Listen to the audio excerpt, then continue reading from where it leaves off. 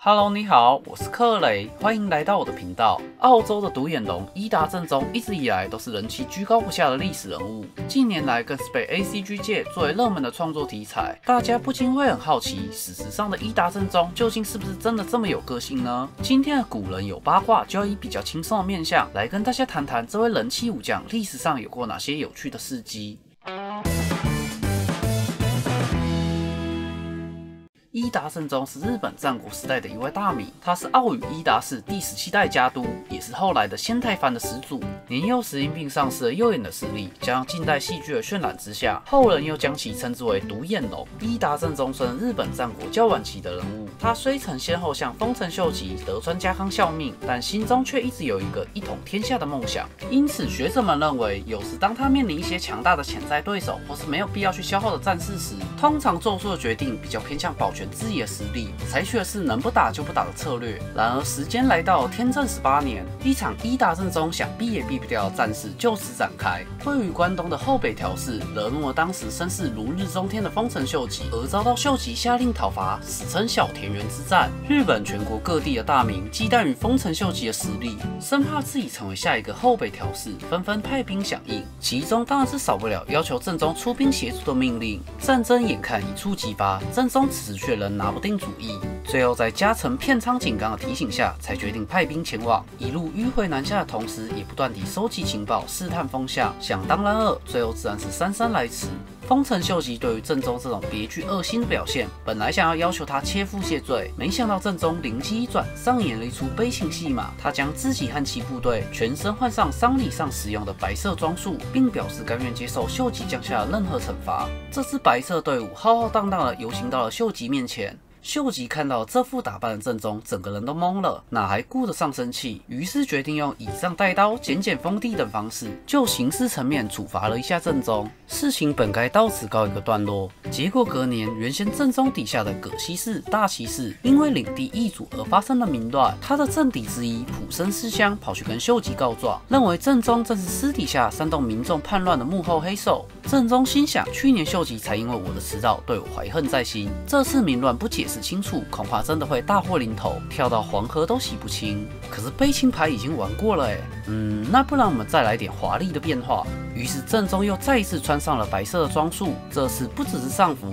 还在队伍前放置了一个贴有金箔的超大型十字架，效法耶稣赎罪的方式去见秀吉，同时也带上一些书信的证据，希望借此证明自己的清白。秀吉只好无奈的再次原谅这个小淘气。一直在谋反的边缘来回试探的正宗，这次又侥幸的逃过了一劫，不愧是战国时代的土下座达人。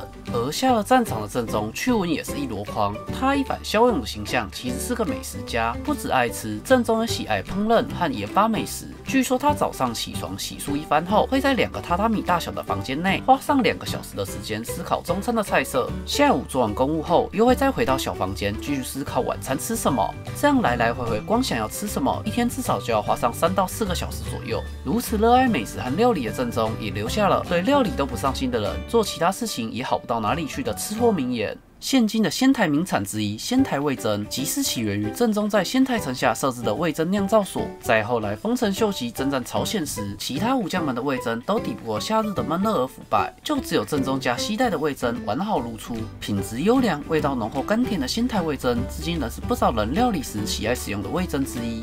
有以上种种，将伊达正宗称之为战国美食家也不为过。喜欢新奇事物也是伊达正宗的爱好之一。对于外国的物品文化深感兴趣的他，就曾经寄给罗马教宗保罗五世一封以拉丁文书写的信。信中正宗以路阿王为名，写下了希望教皇派遣传教士到日本传教，甚至要对罗马主教俯首称臣的大胆内容。目的似乎是想换取垄断日本对外贸易的权利。他也派遣家臣资仓长长于一六一三年率领使节团。造访墨西哥、欧洲等地，是日本在锁国政策前与欧洲少有的交流行动。有一说认为，正宗想借由和西班牙舰队合作来推翻家康的政权。若真是如此，正宗的谋反心可是一日都不消停呢。正宗对西方世界深感兴趣，对东方亦是如此。现今可以看到许多当时正宗留下的汉诗跟书法。他的知名汉诗最于口号中隐晦的点出，他在太平盛世中寄情于各种兴趣的同时，却仍不禁感叹其生不逢时的些许无奈。正宗所留下的。四千五百封书信中，其中就有一千三百封是正宗的亲笔信，无论是数量还是比例，都是数一数二的高。在战国时代，通常写信这种繁琐之事，都是由旁人代笔。伊达正宗却时常在处理政务或家庭大小事上展现亲力亲为的一面。不仅如此，茶道、和歌、能剧等种种艺能领域也在正宗的兴趣范围。这样广泛的兴趣跟武武都有亮眼的表现，是战国诸多名将中相较少见的。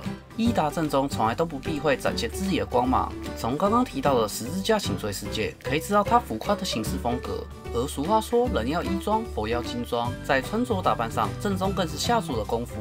当时他所穿的盔甲衣服，即便放到四百年后的今日，看起来也是相当的潮流。正宗亲手设计的紫地罗背版五色乱星阵雨之，以紫色为底，在伊达家家纹竹雀纹下配置彩色水域，缤纷活泼的风格设计，不难在现代的小屋中也看到类似的风格。除了自己喜欢穿前卫服装，正宗也不吝啬让底下士兵有着朝服。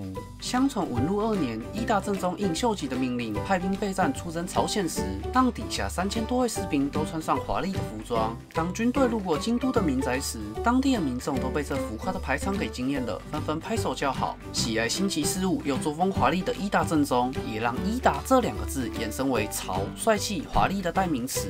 后来的日本人会用伊达者来形容打扮时尚华丽的人。一种以鸡蛋和鱼肉为原料的蛋卷，也因为有着美丽的颜色和像缎带一般的华丽外观，而被冠上了。伊达卷的名称，就是这样一个性格独特又帅气的人，成为现代人心目中最喜爱的战国武将之一。